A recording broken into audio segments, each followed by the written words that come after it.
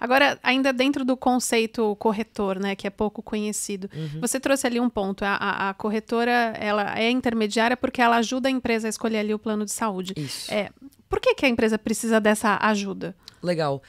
Eu geralmente explico o corretor parecido com um advogado. É, existe muito conhecimento específico em relação ao que é um seguro, como ele funciona, o que, que você pode fazer, o que, que você não pode fazer. E o corretor é a figura detentora desse conhecimento. Então ele, ele, ele é o especialista de seguros, assim. Porque geralmente quem contrata com é o departamento de RH, eles são especialistas de pessoas. Então essa cola, ela é muito importante. Por quê? No mundo ideal, você fala para uma empresa, o que, que você quer? Ah, eu quero um plano de saúde mais barato, com melhor cobertura e com melhor cuidado para o meu colaborador. Uhum. Mas não é bem assim que funciona na prática. O setor está um momento desafiador, é, tem que entender se todo mundo da empresa aderir é um preço, se algumas pessoas da empresa aderir, aderirem é mais caro. Tem várias questões contratuais e o corretor se está naquele lugar. E aí o corretor de benefícios, ele tem uma outra coisa que é, ele faz gestão de contrato. Por quê? O seguro saúde, diferente, por exemplo, do seguro automotivo, ele é reajustado com base no meu uso enquanto empresa. Então, se meus funcionários, por exemplo, usam loucamente, o meu reajuste vai ser muito alto. Mas a empresa vizinha, se os funcionários usam pouco, o reajuste vai ser baixo. Então, o corretor ele já tem essa atribuição de ser meio que um gestor e um aliado da empresa nesse processo de controlar esses custos e esse contrato. E o repasse do reajuste fica para a empresa e não para o funcionário. Exato. Entendi. É, isso a gente depois pode falar um pouco da, das estratégias, inclusive, de engajamento, porque eu uhum. imagino que talvez vocês tenham isso muito presente dentro da Pipo. Mas antes ainda de falar disso, é, eu queria te perguntar como você está traduzindo para a gente muito bem esse mercado da, uhum. da corretagem de seguros. Existe um, um pouco um não, não, diria que uma má fama, mas uhum. assim, eu já ouvi de alguns players do setor de que a saúde suplementar não vai mudar uhum. enquanto a gente tiver mecanismos perversos e, e, e, e, normalmente se atrelam ao fato de, da existência de você ter a corretora de seguros em alguns momentos uhum. que te obrigam a fazer talvez é, renovações ou mudanças né, de contratos a cada dois anos para melhorar ali a, a sua o seu retorno financeiro. Uhum. É, e que então, porque você muda de dois em dois anos, você não vai investir no longo prazo, você não vai investir em prevenção, uhum. você não vai ter esse. É, isso que a gente precisa fazer para a saúde melhorar e para que a saúde seja sustentável. Legal. É, primeiro, me explica se isso faz sentido ou não. Uhum. Segundo, como que a Pipo se posiciona em relação a isso. Legal. Quando eu era investidora, uma das grandes questões que eu tinha antes de montar a Pipo é: esse mercado vai ser desintermediado ou não? Ou seja, o corretor vai acabar ou não? E aí, hoje, cinco anos depois de ter fundado a empresa, eu tenho alguma convicção para dizer que não. Porque existe, de fato, muito conhecimento específico de mundo de operador e mundo de seguros que o corretor ajuda demais as empresas a navegarem. Dito isso, acho que existem corretores bons e corretores ruins. É, e aí, tem corretores ruins que atuam dessa forma. Então, levando a empresa de uma operadora para outra, é, de fazendo a empresa ficar trocando de apólice, mas não necessariamente atuar na causa raiz dos problemas, que às vezes são falta de prevenção, às vezes é má gestão de populações específicas, às vezes é mau uso. É... E existe corretor bom. E eu não quero dizer aqui que a Pipa é a única corretora boa. Acho que existem vários corretores que fazem um bom trabalho.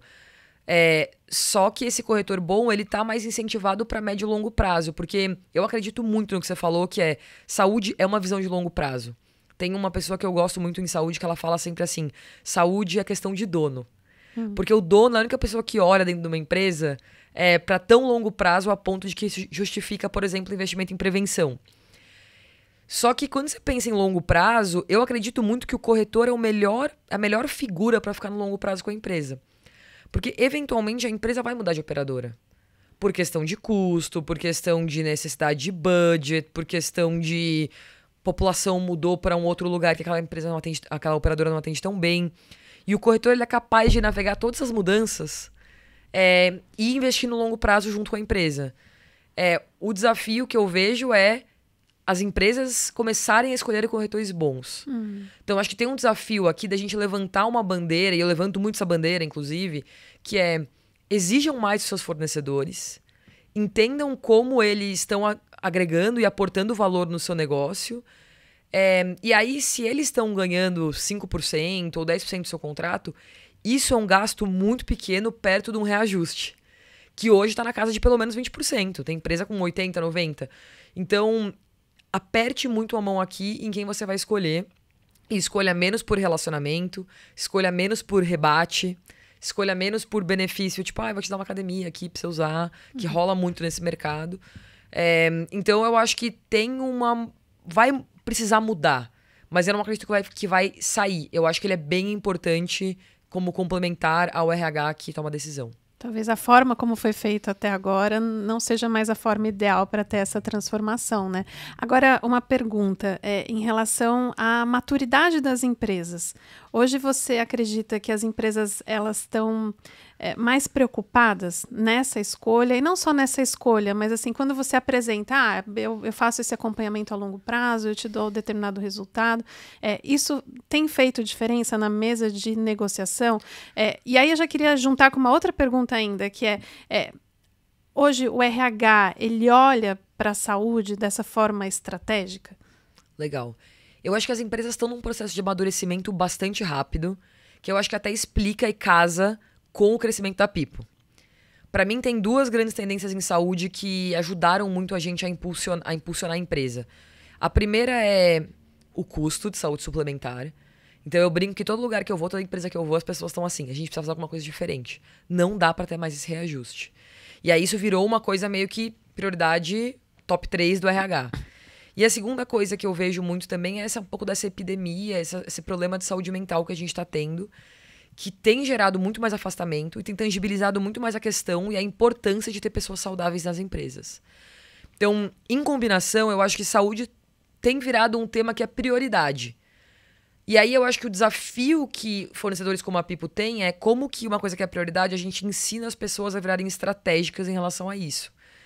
Porque ainda falta um pouco de conhecimento de todo mundo no setor, de quais alavancas a gente tem, como que a gente entende custo de saúde, como que a gente olha para a saúde no longo prazo, dado que nossos mandatos geralmente de resultado são um ano, né, o resultado, o ano fiscal. É, então eu estou vendo esse processo de virou prioridade e um processo de virar estratégico. E, e, e, do ponto de vista do funcionário, quando você chega na empresa e fala assim, ó, oh, funcionário, agora vamos aqui fazer a gestão da sua saúde, para isso é importante que você siga esse esse uhum. ponto. Como que é? Bastante receptivo, assim, o funcionário em geral. É, é interessante que eu acho que tem uma relação do funcionário com a operadora que às vezes é de desconfiança. Uhum. Então tem um pouco daquela coisa meio parecido com o sentimento do brasileiro em relação a banco. Quer me enganar ou não quer me fazer usar da melhor forma. E aí quando vem um terceiro, eu vejo as pessoas muito mais abertas, assim. É, de pô, que legal que eu tenho essa questão, que você tem esse programa, que eu posso é, melhorar, que está me recomendando esse médico. É, o desafio que a gente tem é fazer saúde ser um tema mais central na vida das pessoas e menos reativo. Porque a gente ainda tem uma cultura de tratar doença, todo mundo fala isso. É, e a gente também tem uma cultura de saúde, eu falo isso bastante, é uma coisa meio chata ainda. Uhum. Então, finanças, por exemplo, eu acho que assumiu um lugar mais estratégico na cabeça do brasileiro. De, pô, eu vou seguir aquele influenciador, é, eu vou me ent entender como que meu dinheiro pode aumentar. Saúde, eu não acho que as pessoas falam assim, nossa, eu quero viver mais e melhor. Então, eu vou começar agora, sabe assim? É, e a gente tem um desafio de como que a gente coloca o tema nesse lugar, assim, que é um baita desafio para o setor como um todo. Porque senão não vai reduzir custos, senão não vai ter uma série de, de coisas que a gente precisa que aconteçam. Nossa, faz muito sentido. É, é, é, é triste pensar, mas é isso, né? Sa saúde acaba sendo um, um, um, um, tema chato, assim, porque envolve muito uma mudança sua de hábitos, de coisas que às vezes são menos confortáveis. Uhum. É, não tem esse ganho imediato, então tem essa visão de longo prazo, né? Uhum. É, é realmente, acho que um, um grande trabalho ali de comunicação e também de ações.